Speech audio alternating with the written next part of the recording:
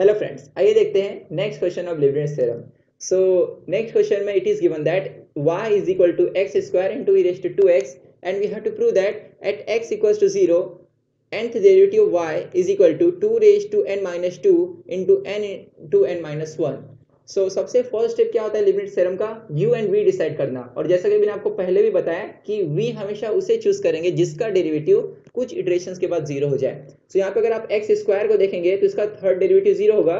तो इसे मैं वी चूज़ करूँगा। सो वी थ्री होगा ज़ीरो बिकॉज़ एक्स का हाइएस्ट पावर टू है।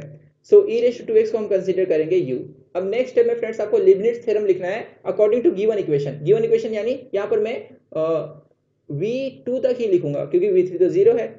So I will get nth derivative of y as per Leibniz theorem equals to nc0 un v naught plus nc1 un minus 1 v1 plus nc2 un minus 2 v2 बस अब इसके आगे के सारे terms क्या है zero so all remaining terms is equal to zero since v3 equals to zero so अब आपको क्या करना है un फाइंड करना है तो जैसा कि हमने ऑलरेडी पहले देखा है standard sorry nth derivative of standard functions में कि if y is equal to e raised to mx then its nth derivative is given by formula m raised to n e raised to mx okay so यहाँ पे अगर friends में m को replace to से तो मुझे u मिल जाएगा तो therefore nth derivative of u can be obtained by replacing m with 2 in the formula of yn okay so i will get 2 raised to n into e raised to 2x ये formula हो गया un का so so अब यहाँ पे मैं substitute करूँगा so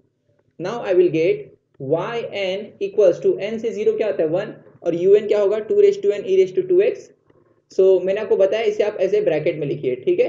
क्योंकि आगे इसी का मैं यूज़ करूँगा। V नॉट क्या होगा friends v that is x square then plus n c one क्या होता है? n.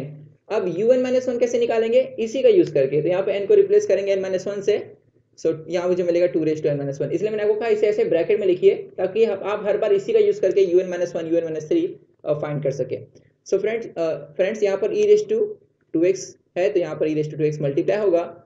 सो so, अब नेक्स्ट क्या है? एक्स स्क्वायर का आपको डेरिवेटिव लेना पड़ेगा क्योंकि वी वन फाइंड करना है। So here I will get two x then plus n c two क्या होगा? N into n minus one divide by two then u n minus two u n minus two कैसे मिलेगा? You N की formula में N की जगह N minus two replace कीजिए। So you will get two raise to n minus two e raise to two x then v2 v2 यानी v का two times derivative तो एक बार डेरिवेटिव लिया था 2x मिला था नेक्स्ट टाइम लेंगे तो क्या मिलेगा?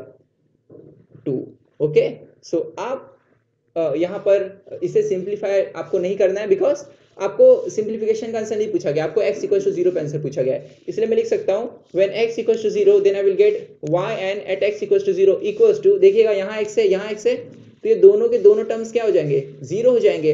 और यहाँ तो एक्स यहाँ पर अगर आप देखेंगे तो सिर्फ़ यहाँ पे एक्स प्रेजेंट है तो यहाँ पे अगर एक्स ज़ीरो पुट करूँगा तो ई रेस टू ज़ीरो क्या होता है? वन होता है और ये टू ये टू कैंसिल होगा और फाइनली आंसर मुझे मिलेगा two raise to n minus two into n into n minus one जो यहाँ पर मुझे शो करना है। सो so, काफ़ी इजी क्वेश्चन था ये।